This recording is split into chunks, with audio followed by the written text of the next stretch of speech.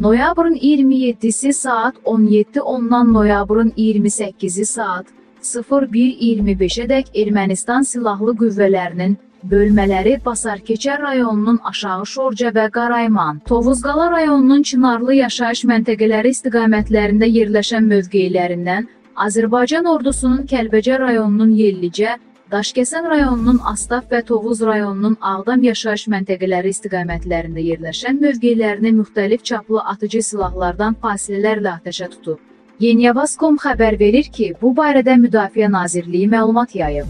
Bundan başqa noyabrın 27-si saat 19:35-dən noyabrın 28-i saat 08:10-adək Rusiya sülh məramlılarının müvəqqəti yerləşdiyi Azərbaycan ərazisindəki qeyri-qanuni erməni silahlı dəstəsinin üzvləri tərəfindən ordumuzun Şuşa, Xocavənd, Xocalı və Ağdam rayonları istiqamətlərində yerləşən mövqeləri də atəşə tutulub.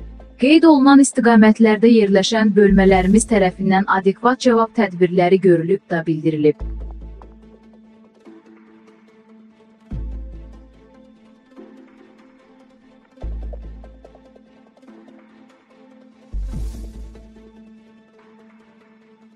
Azərbaycan ordusunun hərbçisi Nurəddin Mirzəzadə Kəlbəcərin şəraitdə vəfat edib. Yeniyavaz.com xəbər verir ki, bu ayda Bakı Xəbər qəzetinin əməkdaşı, jurnalist Vidadi Orduhalı sosial şəbəkə hesabında paylaşım edib. O bildirib ki, qohumunun ölüm səbəbi bəlli deyil. Dostlar, acımız çox böyükdür. Bacımın son beşiyi Nurəddin Mirzəzadə Kəlbəcərin Zar kəndində hərbi xidmətdə müəmmalı şəraitdə vəfat edib.